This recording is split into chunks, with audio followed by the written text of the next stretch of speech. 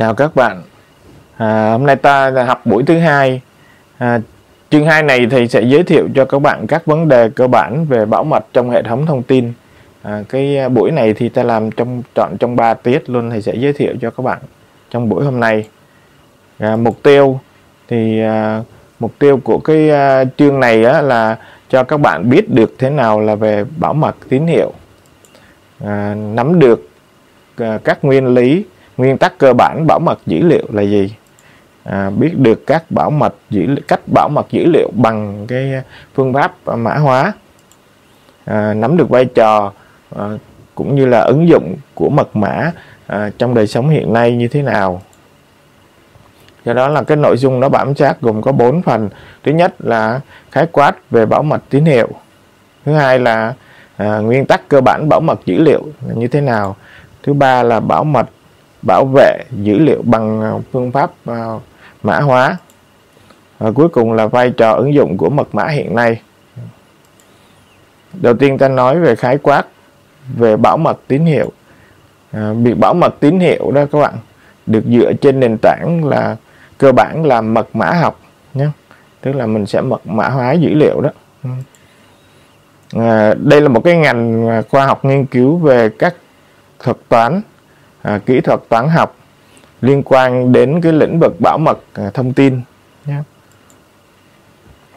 và kỹ thuật này để lưu thông tin theo một cái dạng đặc biệt để che giấu nội dung thông tin khi mà thông tin truyền đi đó các bạn thì người ta sẽ à, chuyển qua một cái dạng đặc biệt và cái dạng đó người ta truyền đi nhé.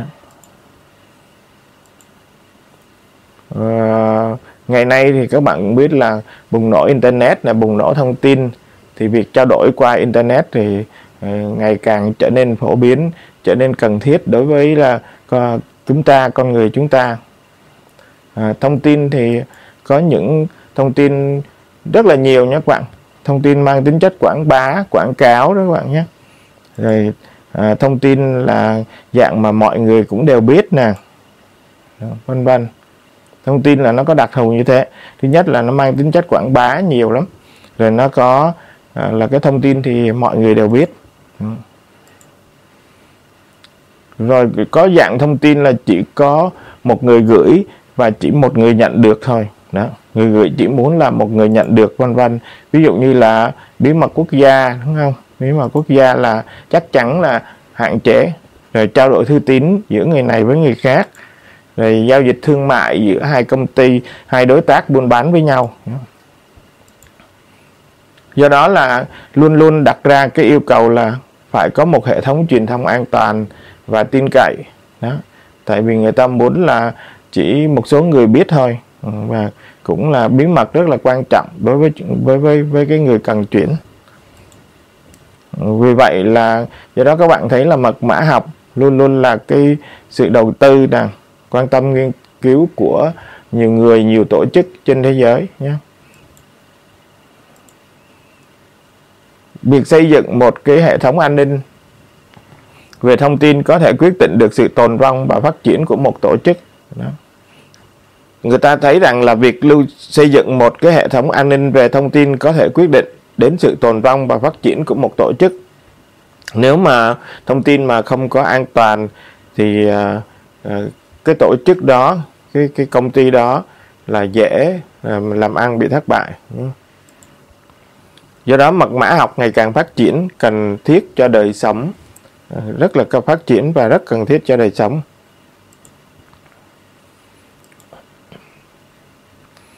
Do đó người ta định nghĩa bảo mật là gì? Là một cái khái niệm phổ biến trong thông tin và các hệ thống dữ liệu. Ờ, trong quá khứ đó các bạn thì à, nhu cầu bảo mật thông tin cũng được phát triển à, để bảo vệ an toàn cho quốc gia cho nhất là cho vấn đề quân sự. Còn ngày nay thì sao? Ngày nay cũng thế. Vấn đề cấp thiết đối với tổ chức là bảo vệ chính mình nhé tất cả các cơ quan đơn vị gì đó người ta cũng phải à, bảo, bảo mật cái cái thông tin của người ta.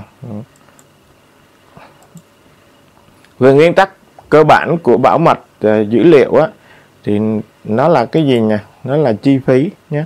Cái thứ hai là thời gian quan trọng nhất là hai cái đó. Hai cái ờ, nguyên tắc cơ bản về việc bảo mật đó là chi phí và thời gian. À, ta sẽ tìm hiểu nói rõ phía sau đi cho các bạn xem. Thì lấy ví dụ thí dụ đây là ta có hai đối tác đó. hai đối tác với nhau. À, một công ty X một công ty Y đó. công ty X sẽ có một cái thông tin quan trọng hoặc là một đơn vị X nào đó một cơ quan tổ chức nào đó gửi cho A đó, hai người này thông tin gửi qua cho nhau thôi tuy nhiên đặc biệt là lại có một cái anh đối thủ cạnh tranh, một anh thứ ba này nè, đó. Anh lại muốn cần, đó, anh cũng cần lấy thông tin của hai người này khi truyền cho nhau đó. Ừ, tìm cách là lấy thông tin khi mà x truyền cho y hoặc là y truyền cho x, vân vân. Tình huống đặt ra là nếu mà x và y không có phương pháp bảo vệ cái thông tin này á thì hiển nhiên z sẽ lấy được thôi. Trên đường truyền mạng nhất là truyền mạng là là dễ bị lấy lắm các bạn nhé. Nha. Dễ bị hack dễ bị tấn công trên đường mạng lắm. Đó là trường hợp mà X và Y không có cái phương pháp bảo mật nào cả. Còn trường hợp nếu mà có một phương pháp bảo mật thì sao nha? À, Z có lấy được thông tin thì cũng không biết nội dung. Tại vì lúc này phương pháp bảo mật là người ta mã hóa dữ liệu đó. Là lúc này là cái anh Z này nè là không thể nào mà mà mà, mà ừ, biết được cái nội dung hai người này trao đổi như thế nào đó. Như thế là X và Y đã thực hiện được việc bảo mật uh, thông tin của họ là như thế đó các bạn nhé. Thì khi mà X và Y trao đổi thông tin có thực hiện phương pháp bảo mật rồi Z có muốn lấy được thông tin đi nữa đó. Thì các bạn biết là khi mà bằng cách nào đó đó mà Z thu được những gì mà XY trao đổi và tiến hành giải mã hiển nhiên là Z nó sẽ làm động tác là nó sẽ lấy. Đấy khi mà hai anh này trao đổi XY trao đổi á, và nó cũng sẽ tiến hành nó biết là mã hóa nó giải mã. Tuy nhiên là các bạn biết này quan trọng là cái thuật toán mà mã hóa đó đúng không? Thuật toán mã hóa của anh X với Y đó thuật toán mã hóa mới mới thấy được cái cái thông qua chi phí và thời gian để thực hiện giải mã đó. Tức là quan trọng nhất là cái thời gian giải mã cũng như là chi phí giải mã. Giống như quay lại từ đầu ta đó, các bạn thấy quay lại từ đầu trên slide trên này các bạn thấy là đó. Có hai nguyên tắc là chi phí và thời gian quan trọng nhất là cái này đó các bạn nhé. Chi phí và thời gian là như thế đó.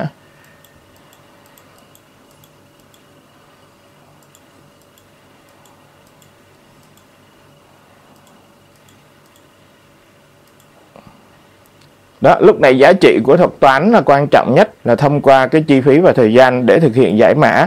Đó, nếu mà trị thông tin là 5 mà chi phí để bẻ khóa, để giải mã là 10 á, thì là việc bảo mật coi như là là đã thành công đó. xem như đạt mục tiêu đạt yêu cầu vậy đó ta ví dụ lại thí dụ như trường hợp thí dụ như là à, bộ giáo dục đào tạo khi mà gửi đề thi xuống cho các tỉnh thành để in ra đó thì à, họ cũng mã hóa và mã hóa trong thời gian thí dụ một ngày chẳng hạn thì tuy nhiên là những người nào mà trên đường họ chặn lại họ lấy được thông tin từ à, bộ, thí dụ gửi vô cho thành phố Hồ Chí Minh chẳng hạn, bộ họ gửi vô trong thành phố Hồ Chí Minh, rồi họ có lấy được, tuy nhiên cái nội dung đã được mã hóa rồi. Thì nếu mà họ, mà giải mã trong vòng hai, ba ngày coi như là không có giá trị nữa. Tại vì gửi xuống cái là họ in ra là hôm đó là thi luôn, tức là giải mã trong vòng một ngày thì thì thì thì may ra. Tuy nhiên là thường thường thì nếu mà trường hợp như thế là hai, ba ngày xong mới giải mã xong thì cũng như không cũng vậy như việc mà mà ta khóa chẳng hạn, ta khóa cái chìa ta khóa cái ổ khóa đó các bạn. Nếu mà cái ổ khóa đó ta cũng khóa, rồi cái trộm nó mà nó có mở đó, và nó mở thời gian rất là lâu á, thì cái ờ, chủ nhà hay là chủ xe, chủ phương tiện người ta phát hiện ra được rồi. Còn nếu mà cái cái cái ổ khóa đó mà mở với lại thời gian cực kỳ nhanh đó, thì là là coi như là cái người mà mà bẻ khóa đó là thành công tuy nhiên là thường thường các bạn thấy khóa đó cái chìa khóa đó chủ yếu là hạn chế cái thời gian mà người ta kẻ trộm nó bẻ khóa vậy đó. Chứ còn nó vẫn bẻ được các bạn lưu ý nhé nói tóm lại là một cái đánh giá khác là thời gian bỏ ra để thực hiện việc giải mã vậy đó. Thì mã hóa cũng giống như là cái chìa khóa đó cái ổ khóa đó mình khóa vô. Nếu mà cái trộm mà nó mở được á, với thời gian nhanh hoặc thời gian chậm là như thế đó là cái khóa nó có giá trị hay không? Vậy đó. Thì cái này cũng vậy thuật toán cũng vậy nha các bạn. Thuật toán mà mã hóa này cũng vậy là quan trọng là cái thời gian thực hiện nhé à, ta có ta vẫn tiếp tục cái ví dụ đó. Nếu mà x mà hẹn y là sẽ thực hiện kế hoạch sau khi nhận thông tin là một ngày. Đó à, trong khi đó Z thì tốn tới hai ngày để giải mã. Thì giống như thầy nói cái chuyện mà đề thi đó các bạn nhé đề khi là gửi ờ, sáng sớm gửi xuống là in hoặc là tối khuya gửi in in ra là sáng mai là là là là là sinh viên ờ, học trò thí sinh họ thi hết rồi. Như thế thì chỉ trong vòng một ngày thôi. Tuy nhiên nếu trường hợp mà trên đường truyền xuống mà có người nào đó họ lấy được mà họ giải mã tới hai ngày coi như không. Tại vì giá trị trong vòng một ngày thôi. Gửi tới cái là bóc đề ra in in xong là thi liền. Là mọi người ai cũng biết rồi. Còn nếu mà cái bên Z này nè, một một cái cái người nào đó mà hack được hoặc là tấn công được, lấy được chẳng hạn, thì mất tới hai ngày thì coi như không. Lấy được rồi giải mã tới hai ngày mới xong thì coi như mất giá trị rồi. Do đó khi đó là có thể nói là việc giải mã xem như không còn ý nghĩa gì nữa là như vậy đó. Cái thời gian nó quan trọng các bạn bảo mật bảo vệ dữ liệu bằng phương pháp mã hóa. Cái khái niệm là như thế nào đây nhà mã hóa tức là biến đổi dữ liệu thành một dạng không thể đọc được. Đó, thì các bạn cũng hình dung ra được rồi. Do đó ta cần có cái chìa khóa các bạn. Nó cũng giống như là khóa cửa vậy đó. Nó có cái ổ rồi mình có cái chìa để khóa nha các bạn nhé. Rồi chìa mở ra vân vân. Rồi cái phương pháp mã hóa để giải mã, đó.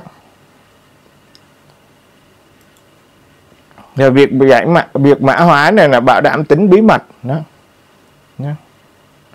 Và cá nhân cho dữ liệu này, đó nha.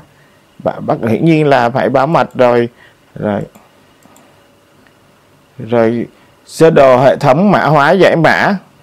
Thường thường là mã hóa với giải mã họ đi kèm một bộ như thế đó các bạn nhé hoặc là có thể là một hoặc nhiều thuật toán mã hóa nè. Rồi có cái cây để sử dụng cho thuật toán. Thuật toán là phải có cây là vậy đó. Hoặc là một hệ thống quản lý cây, văn bản, vân vân, đó. Ta xem ví dụ này, ta hình dung nè. Đầu tiên là cái văn bản đưa vào. Đó. văn bản đưa vào. Rồi cái cây đây đúng không? Cái cây này đưa vào. Rồi đây là thuật toán mã hóa sau khi thuật toán mã hóa xong thì nó sẽ có đưa ra được cái văn bản đã được mã hóa nhé đầu tiên là văn bản chưa mã hóa nè, đây là cái thuật toán nè. Thì khi mà đưa vào đây rồi thì kết quả đầu ra sẽ là văn bản đã được mã hóa rồi. Hiển nhiên có cái cây là đưa vào.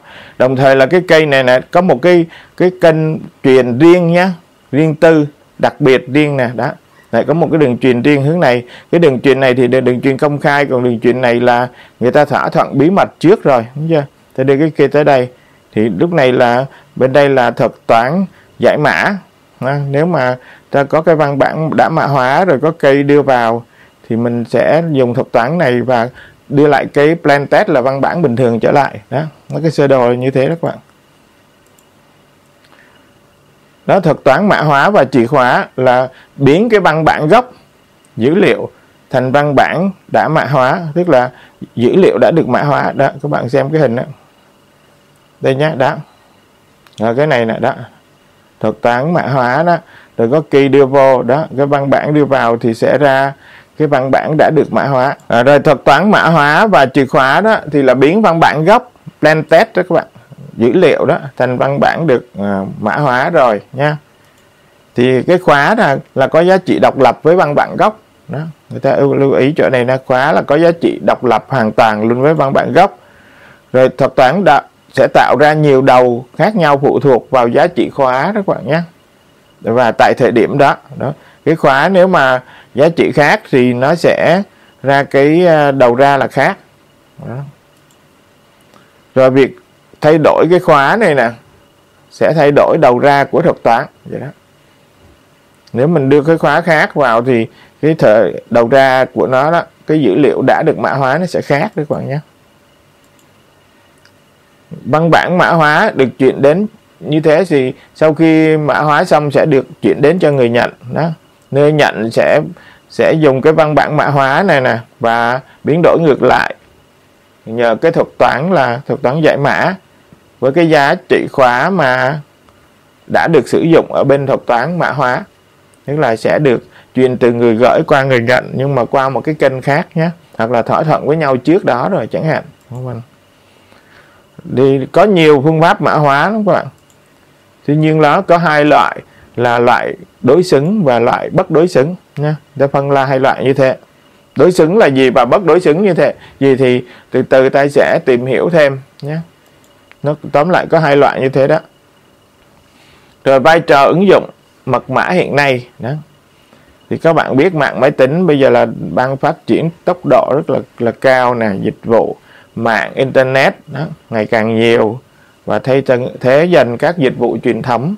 Do đó là việc ờ, bảo mật, dữ liệu, truyền gửi cho nhau cũng rất là khá là quan trọng nha. Người ta biết là có chính phủ điện tử nè, rồi có thương mại điện tử nè đó. thì cũng đóng vai trò quyết định sự phát triển của mỗi quốc gia. Đó bây giờ là tại vì cũng uh, dùng điện tử hết đúng không? Hành chính điện tử vân vân. Toàn bộ bây giờ là là điện tử hết rồi. Rồi do đó vấn đề an ninh mạng là luôn luôn là, là đặt lên đằng đầu. Đây là bài toán rất là khó đòi hỏi sự quan tâm và đầu tư của nhiều tổ chức nhất là của nhà nước. Đó. an ninh mạng các bạn biết thấy cũng là đang là vấn đề nóng hổi đó các bạn nhé do đó, mật mã hóa là đóng vai trò quan trọng trong thời đại hiện nay, đúng không? Bùng nổ thông tin hiện nay, thời đại 4.0 hiện nay, công nghệ 4.0 mật mã học hiện đại đó các bạn, không còn nằm trong phạm vi là mã hóa dữ liệu nữa, mà còn rất nhiều ứng dụng khác nhau liên quan đến an toàn thông tin nhé nó là sử dụng như là một công cụ để bảo vệ an ninh mạng đó nhé cái thời buổi này là vấn đề an ninh mạng là được đặt lên hàng đầu đó các bạn nhé rồi, ta có thể liệt kê một số như sau, các vai trò ứng dụng của nó như sau. Đầu tiên là truyền thông an toàn nè. Ừ. Rồi à, ứng dụng của nó là nhận dạng và xác nhận. Rồi, chia sẻ thông tin bí mật. Rồi à, thương mại điện tử. Ừ. Rồi, chứng nhận. Rồi à, phục hồi khóa rồi truy cập từ xa, vân vân. Nói chung là còn nhiều lắm các bạn nhé. Ta nói cụ thể hình tí xíu nha. Truyền thông an toàn không? đây là cái ứng dụng quan trọng nhất ngay từ phút đầu đó. Nó là là mục đích của nó là truyền thông an toàn đó các bạn nhé. Đây là ứng dụng quan trọng nhất. Đó.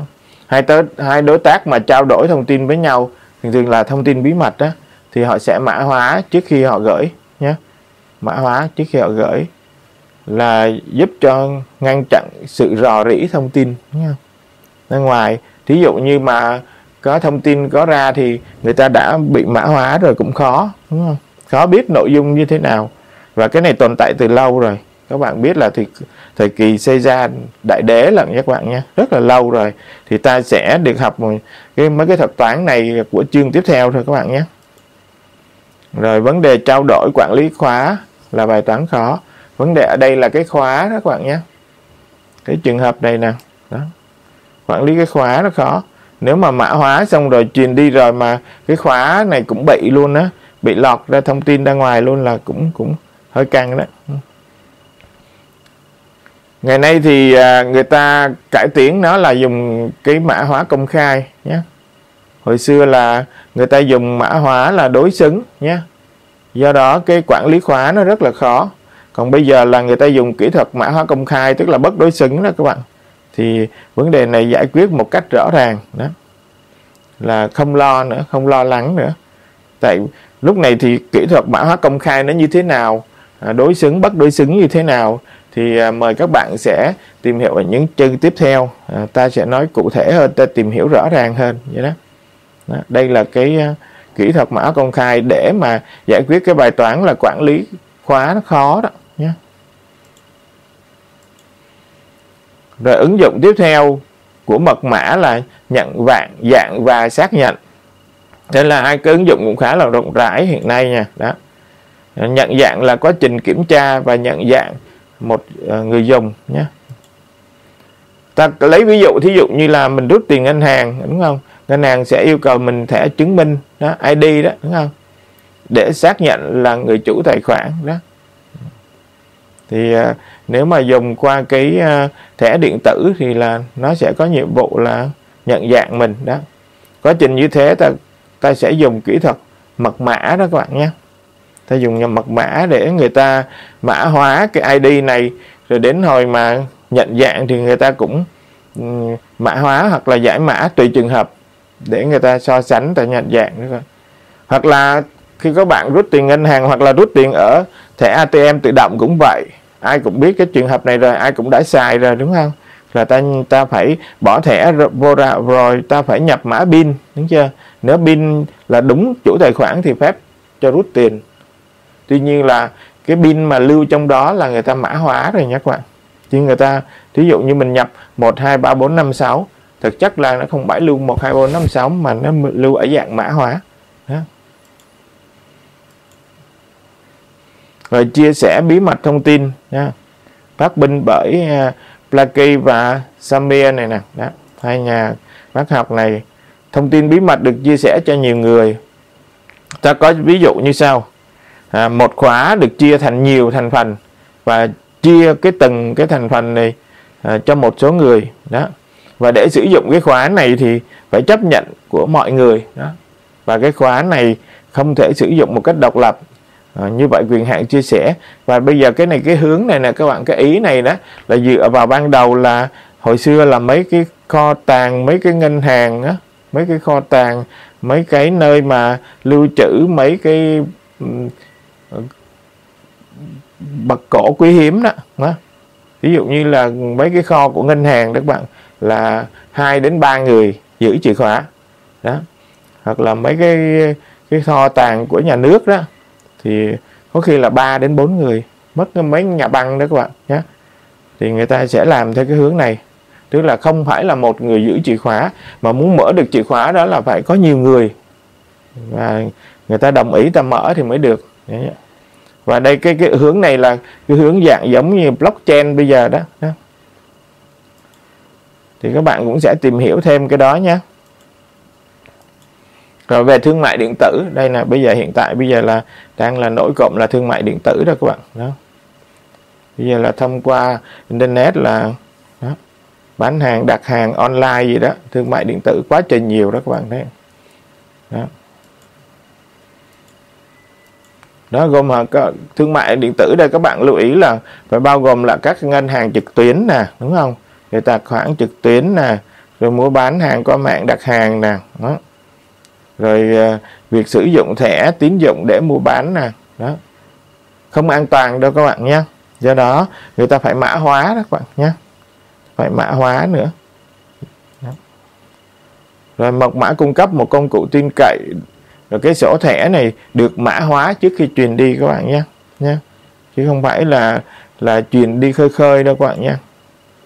Rồi càng nhiều giao dịch thương mại trên internet thì việc xây dựng hệ thống là rất là quan trọng. Chúng tôi là khi các bạn nhập cái số pin hoặc cái gì của mình truyền đi đó là có chừng là dễ mất, không an toàn là vậy. Nên cần phải có được sự mã hóa là vậy đó các bạn.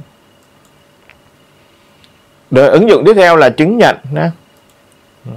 Ví dụ như là một tổ chức, một một tổ chức ví dụ như là chính phủ cung cấp cho mình một cái chứng nhận điện tử cho một người dùng. Và có thể là truy nhập mạng nè, dùng để ký tên đó chữ ký điện tử đó các bạn nhé. Rồi ờ, nhận, và làm thuận tiện cho quá trình nhận dạng và xác nhận, vân vân. Đó. Rồi, đây là một trong những cái ứng dụng cũng khá là là hấp dẫn. Đó là phục hồi khóa đó các bạn nhé. Để cho phép tìm lại khóa, hoặc là không cần thông tin sở hữu mà người ta vẫn có thể tìm lại được cái khóa người ta sẵn sàng người ta phục hồi lại được cái khóa đó các bạn nhé. Hai nguyên nhân sau. Thứ nhất là trường hợp là bị mất khóa, người dùng bị mất khóa hoặc là vô tình ta xóa cái khóa rồi. Đó, làm sao mình khôi phục lại lại được đó. Là dùng kỹ thuật mã hóa đó các bạn nhé. Rồi trường hợp thứ hai là cũng có một số cơ quan, cô thí dụ cơ quan pháp luật muốn nghe trộm thông tin của tổ chức tội phạm chẳng hạn. Đó, thì người ta có khả năng là phục hồi khóa đấy nhé để là nghe nghe nghe trộm cái cái, nhất là về tội phạm đó nha. Người ta vẫn phải theo dõi tội phạm là như thế đó. Rồi truy cập từ xa, đúng không? Hiển nhiên rồi. Bây giờ thời buổi này là nhà ngôi nhà thông minh chẳng hạn đó. Đúng chưa? Nhà mình ở nhà mình đi làm ở công ty rồi, ở nhà mình điều khiển, mình truy cập từ xa chẳng hạn đó. Hoặc là thậm chí là cái cái cái remote mà mở cái cánh cửa đó. Cái cửa đó các bạn cũng khá là nguy hiểm. Nếu mật mã của mình mà cái, cái mấy cái ờ, cái cái tín hiệu của mình mà mình không mã hóa đó là nó bắt được tín hiệu cũng khá là nguy hiểm đó các bạn nhé. Đó. một hệ thống dựa trên mật khẩu để cung cấp độ an toàn nhất định nhưng nó an toàn cho một số trường hợp thôi. Và mật khẩu cũng có thể bị đánh cắp nghe trộm vân vân đúng chưa? Cho nên là cũng phải cẩn thận rồi có nhiều chứng nhận mật mã được truy cập từ xa được an hoàn toàn hơn. Thí dụ như trường hợp là mình cần xin xác nhận đó đúng không? Ngoài ra có một số ứng dụng khác như là, là sử dụng trong điện thoại di động. Thí dụ như là mã hóa tín hiệu điện thoại để chống nghe trộm nè. Rồi ăn cắp số điện thoại và mã truy cập vân vân đó đến đây là những cái à, nội dung thầy đã trình bày à, cho cái buổi à, ngày hôm nay của các bạn, gồm là khái quát về cái bảo mật tín hiệu nè, rồi nguyên tắc cơ bản bảo mật dữ liệu như thế nào, rồi bảo mật dữ liệu bằng phương pháp mã hóa như thế nào, rồi trình bày một số cái vai trò ứng dụng của mật mã hiện nay. Đó là cái nội dung mà thầy đã trình bày cho các bạn buổi thứ hai này rồi nếu mà có gì trao đổi thắc mắc thì à, tí nữa thầy sẽ mời các bạn là trao đổi comment qua cái à, trên à, team hoặc là trên à, classroom. Đó. nếu mà các bạn có thắc mắc thì mời các bạn trao đổi nha. Thì à, kết thúc ở đây. Thân ái chào các bạn. Hẹn gặp buổi tiếp theo.